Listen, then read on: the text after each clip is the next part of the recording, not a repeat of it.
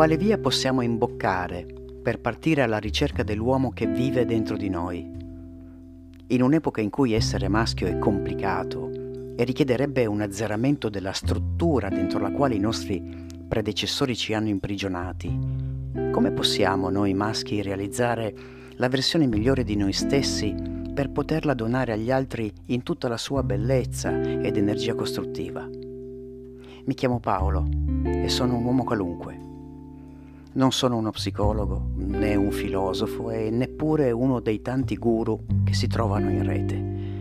Non mi reputo un intellettuale e detesto in genere ogni tipo di etichetta. Sono solo un uomo che riflette e cerca di capire dove è arrivato.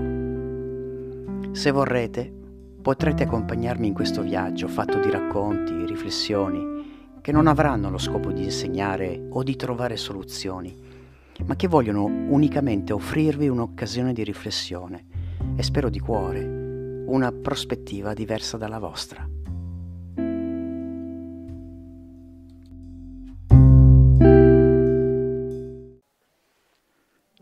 Benvenuti o ben ritrovati a tutti. Quanto devo al teatro? Tantissimo. Io spero davvero che non vi stanchiate di sentirmelo ripetere e non vi stanchiate degli aneddoti che vi racconto spesso in queste puntate, ma ormai lo avrete capito. La recitazione è una di quelle esperienze che mi hanno davvero dato una svolta alla vita, in tanti modi.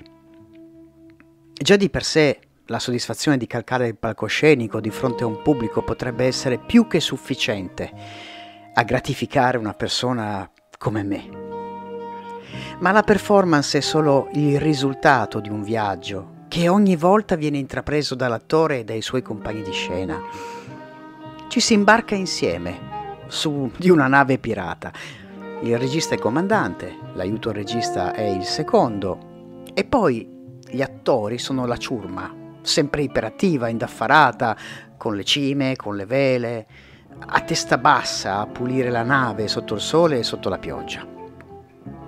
E poi ci sono i navigatori solitari, i monologhisti, che comunque hanno bisogno di spalle, di tecnici, registi.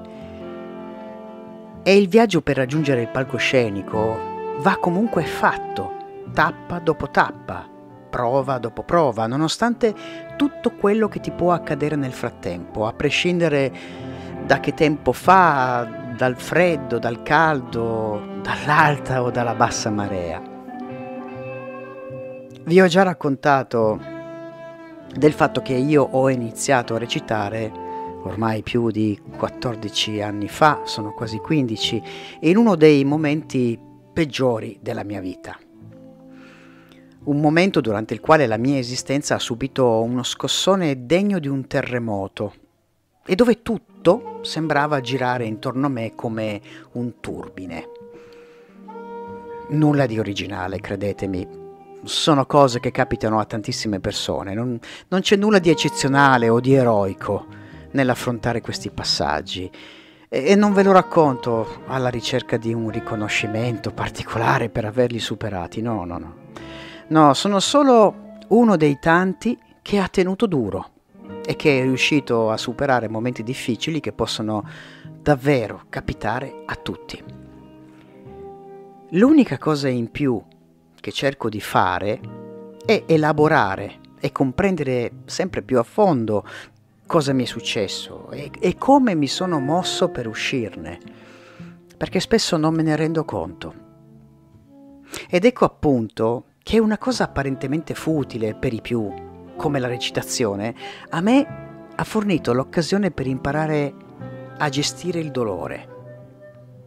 Attenzione, non sto assolutamente dicendo che recitare è terapeutico. Questo è un luogo comune che personalmente ritengo sbagliato. Se devi fare terapia, vai da uno psicologo bravo. Non ti iscrivi a un corso di recitazione per curarti. Mi raccomando, eh, ci tengo che sia chiaro. Ecco, io ho fatto le due cose in parallelo. E in effetti, ora che ci penso, I due percorsi mm, si sono aiutati a vicenda. Ma che sia chiaro che quello che mi ha permesso di rimettermi in piedi è stata la, la psicoterapia, non la recitazione. Ok? Quello che voglio mettere a fuoco oggi è l'occasione che il palcoscenico mi ha dato di mettere in pratica delle tecniche di sopravvivenza che, una volta comprese, non ho più dimenticato. Una su tutte è quella che voglio condividere con voi. Usare le emozioni negative e gli stati d'animo difficili come benzina per fare qualcosa di buono. Sapete, se non sei un professionista, i corsi e le prove teatrali sono sempre di sera, gioco forza. Parliamo di almeno 4 ore di lavoro che consistono in eh, esercizi molto fisici, lavoro sulla voce, sull'interpretazione del testo, tecniche di recitazione, eccetera, eccetera, eccetera. Insomma, tanta, tanta roba. E potete immaginare che dopo una giornata di lavoro, magari ad un'ora di distanza da casa, trovare l'energia per fare quattro ore di prova, beh, non è uno scherzo. Eppure si fa le forze le puoi trovare. Ma ci sono in effetti delle sere in cui ti si chiudono gli occhi e magari eh, si va avanti anche ben oltre la mezzanotte con il, con il pensiero poi della sveglia all'alba, per carità. O peggio ancora, puoi anche arrivare alle prove dopo una giornata di merda, di quelle durante le quali è successo di tutto, tutto è andato storto, sul lavoro, a casa, Magari ti ha chiamato la tua metà e ti ha riversato addosso un bilico di merda perché il vostro rapporto è arrivato al capolinea o, o hai appena scoperto che tuo marito ti ha tradita e indovina un po' con la tua migliore amica. Oppure quella persona che era così importante per te semplicemente se n'è andata e ti ha abbandonato qui, su questo pianeta dove ti senti solo tra la folla. Ecco, ci sono tutti questi possibili momenti di lutto personale durante i quali il dolore in effetti diventa avvolgente, ti stritola come un serpente boa e ti pare di non riuscire neppure a respirare, altro che recitare.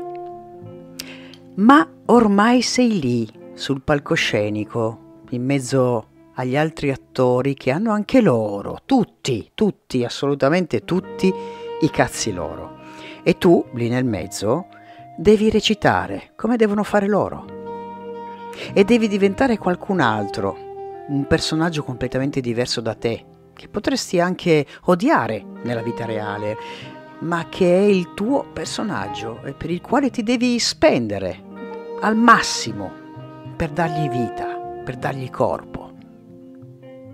Ma se stai male, Paolo, come fai a fare una cosa così difficile? Recitare? Figurati, ma, ma chi te lo fa fare? Eh, eppure, amico mio, si può fare. E ti dirò che si può ottenere anche un grande risultato.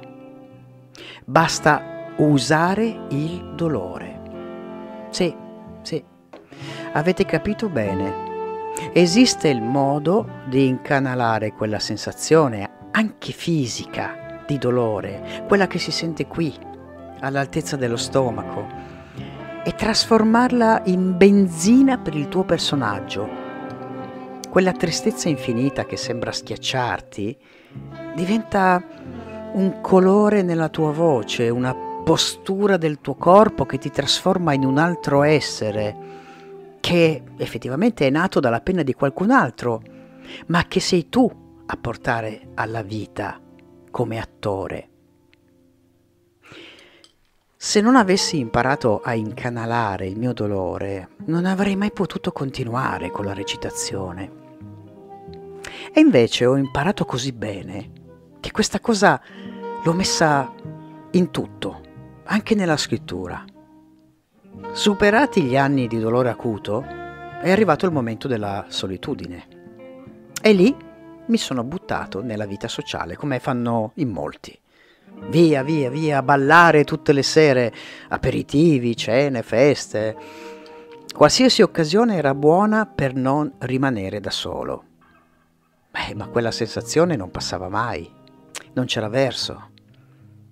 Fino a quando mi sono detto, usala la tua solitudine, raccontala, scrivila, esorcizzala.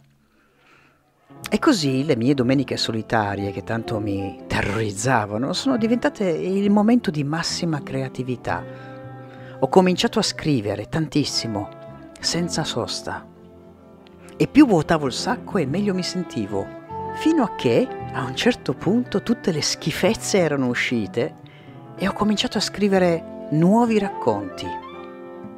Prima dei piccoli monologhi, poi un copione fantastico, pieno di speranza, di buoni propositi, e poi il primo libro, poi il secondo, il terzo. E ora la situazione si è ribaltata. Non soffro più di solitudine, anzi, la ricerco per poter scrivere. E a volte sono contento di non aver ricevuto proposte per il prossimo fine settimana, perché così potrò organizzarmi in modo da avere molte ore per scrivere, tutto solo e felice nel mio studio verde salvia. Beh, questa che vi racconto è la mia via, il modo che ho trovato io e che mi calza addosso come un guanto. Mi rendo conto che non può essere adatto a tutti, ma, ma sono certo che ognuno di noi può trovare il proprio modo di usare il dolore.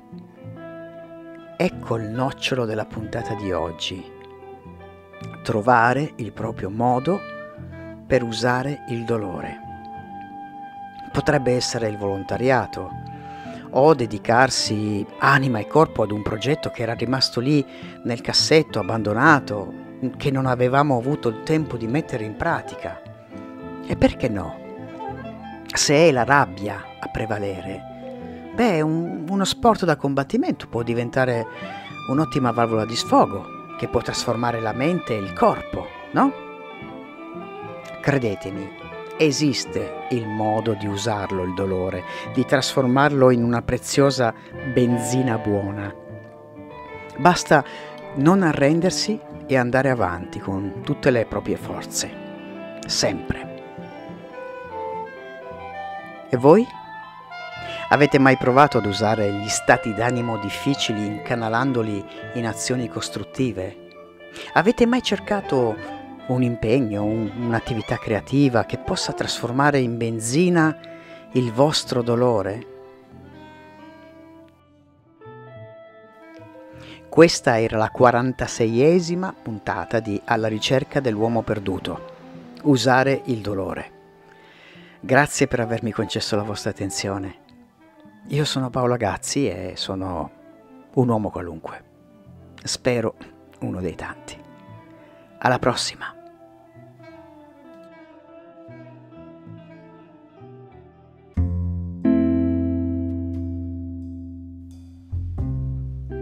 Alla ricerca dell'uomo perduto è un progetto semplice, spontaneo e non ha il sostegno di un canale ufficiale.